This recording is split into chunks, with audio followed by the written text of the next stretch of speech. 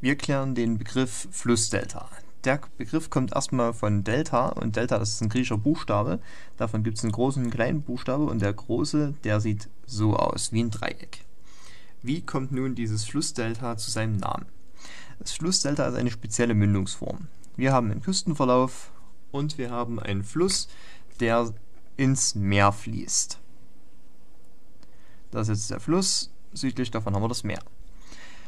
Wenn ein Delta entsteht, dann ist, das, ist es im Mündungsbereich des Flusses sehr, sehr flach.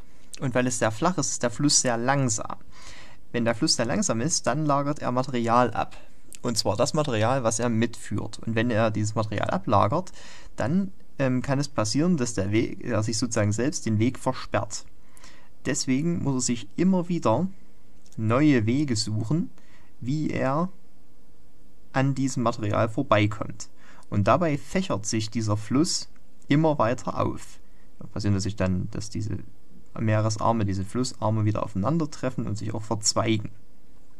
Gleichzeitig trägt er das Material, was er vom aus dem Gebirge oder aus dem Gebiet, wo er halt entspringt, mitbringt, immer weiter ins Meer hinaus und vergrößert sich dadurch, dadurch vergrößert sich dieser Mündungsbereich immer mehr und verzweigt sich immer mehr und verlagert sich eben auch aufs, ins Meer hinaus. Und wenn wir uns jetzt mal die Form angucken von dieser Flussmündung, dann seht ihr, dass sie tatsächlich diese dreieckige Form aufweist, die ich jetzt nochmal rot kennzeichne. Und diese dreieckige Form,